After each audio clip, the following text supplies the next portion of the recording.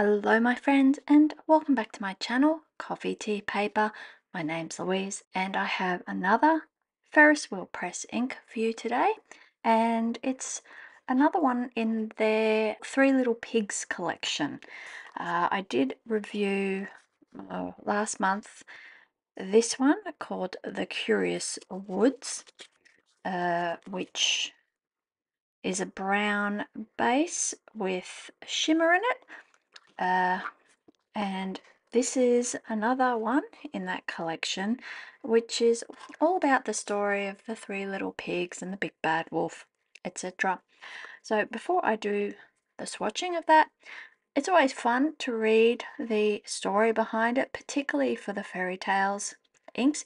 The everyday inks um, are always in a theme as well but uh, I do like the particular whimsy of the fairy tale ones. With a huff and a puff, the wolf's breath swirls and surges, whipping through the sage forest and sweeping the pig's land with the fervour of a tempest.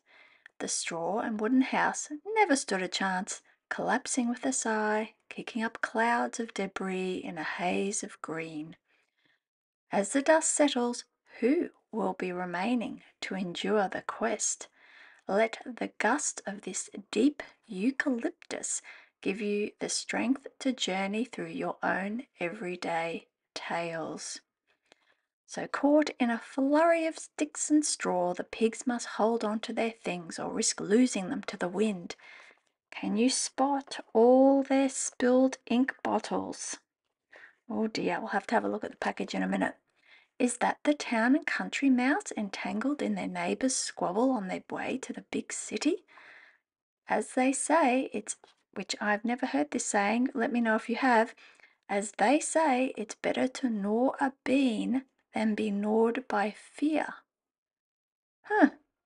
In the haze of chaos, clouds of grey green cloud the pig's vision, the inspiration for this enchanting shade. So this is called Galeforce Green. so it's meant to be a deep eucalyptus with duochrome green pink shimmer. So I guess the difference between this is this is a brown base with green pink shimmer and this is supposedly a eucalyptus green base with a green pink shimmer. um, Okay, so let's have a look on the box for uh, some of these details that they're talking about. Here's a piggy being blown about, the ink bottle with the ink spilling, the big bad wolf here, another ink bottle, blowing, huffing and puffing. Where's the little mouse?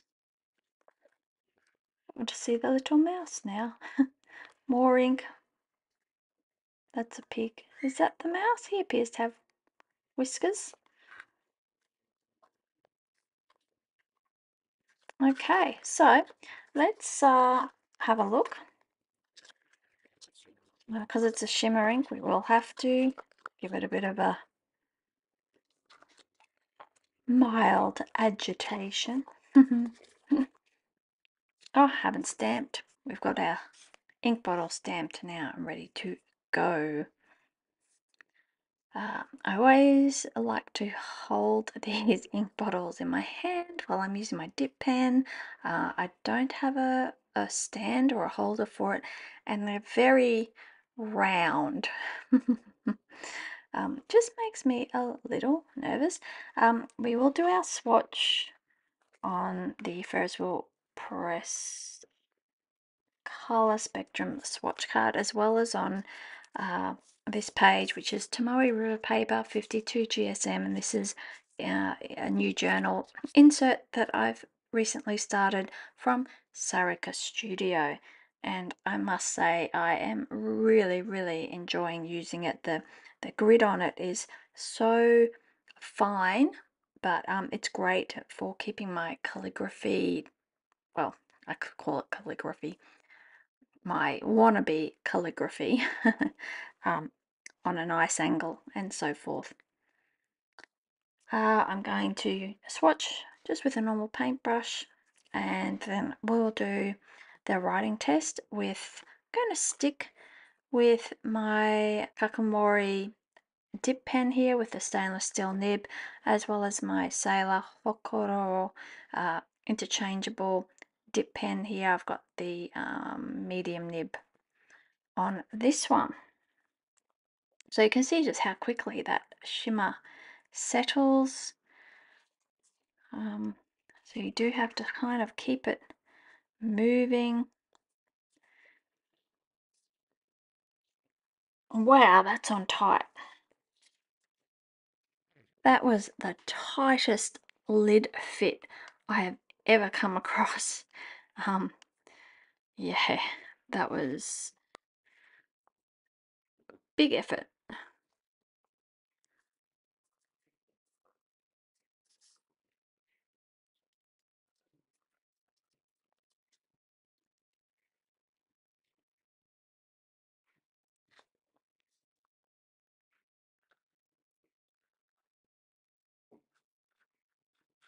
I'll put the lid back on and uh, move it around a bit more. Um, I did try to make sure that I got some of the shimmer on there. Sometimes it's hard to tell while it's wet and then when it dries off it's um it's kind of revealed.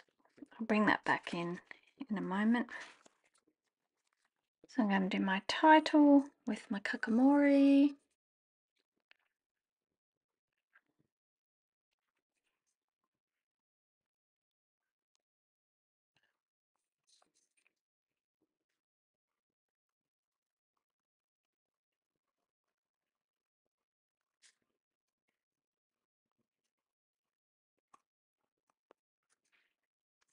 All right. Before I do my writing sample with the uh, Hocoro dip pen, I'm just going to once again move this shimmer around. And uh, yeah, I've got a, quite a big puddle there on my page, haven't I? Let's have a look at this one though. This is starting to dry off nicely. Um, I did notice in the Curious Woods ink that the pink shimmer was really hard to to find. The, the green shimmer did tend to overwhelm it a bit. We'll see if that's the same for this one or if it's a little bit more uh, of an even spread.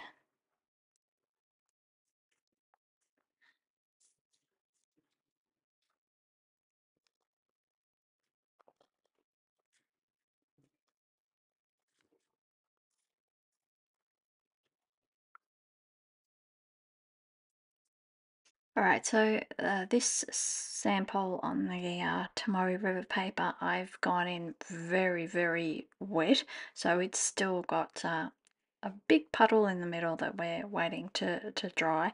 I really was trying to make sure that I got some of that pink shimmer on the paper. So at the end, I will, when it's dry, I'll do a nice close-up so you can really have a look and we'll see how it uh, dries up. In the meantime, this one on this Ferris Wheel Press swatching book, which is like a, a smooth hot press paper, it's quite thick, tends to soak up the ink quite quickly. And it also tends to give it a bit of a matte, fairly uniform finish to the ink, uh, whereas the Tomoe River paper tends to bring out all sorts of interesting characteristics and uh, you see a lot more of the, I guess, uh, colours and blending that may have gone into constructing the ink. Uh, once again, I can see that the first and foremost, it's definitely a deep, deep eucalyptus. Uh, and then the green shimmer is definitely dominating, but, and I hope this is getting picked up on the camera, um, but as I move it here, as I tilt it away from me, I am seeing hints of pink. which I only managed to get in one photo actually of the Curious Woods. So that's definitely it's there. It's just very, very subtle. Uh, as this one's drying off, I can see also predominantly green shimmer. Um, so once it's dried, I'll also try and move that a bit and see if I can get that pink shimmer to, to come out. I was a little concerned that they might be a bit similar. Uh, however, I don't think they are. I think they're quite different, and um, which is a good thing. Uh, they should be complementary, however, given that they're in the same series. And here's a Curious Woods swatch in this book. And I think they're definitely uh, complementary inks. You could use these on the on a same spread to create a background or to do a title uh, to really get that shimmer coming out. Yeah, I mean, look, shimmer inks are always a bit of a novelty, right? And uh, I tend to put this disclaimer in every video with a shimmer ink, but please don't um, ink up your very fine and extra fine pens with shimmer ink.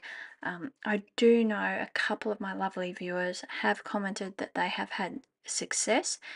However, they have also been incredibly diligent about keeping the pen in use and also giving it a really, really thorough clean um, when they're finished with it. So um, if you tend to have a lot of pens inked and you're not using it um, daily, uh, I would just stick to a medium to broad to stub type nib and I do find it useful myself to if I'm inking up shimmer ink to put it in something like a demonstrator so that you can see when the, the uh, shimmer settles and you can just gently move that ink around in your pen and you can see that it is um, mixed through and then you're ready to write. And then as you see it uh, settle uh, and stop being so dispersed throughout the ink then you need to stop move it around again and start writing again. Um, that's just what works for me.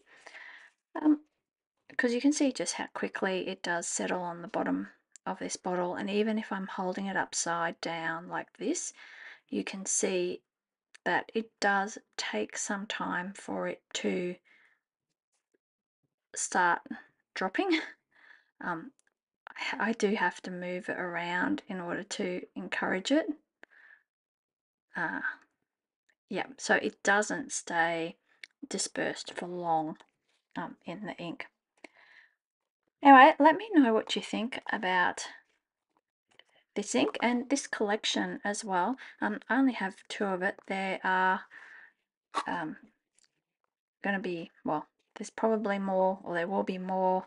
Um, I haven't obviously done my homework with that. I probably should. Let me know what you think. Thank you so much for watching. If you like seeing ink reviews and uh, particularly Ferris Wheel Press inks, then um, I would really appreciate it if you subscribe to my channel uh, and also give this video a like.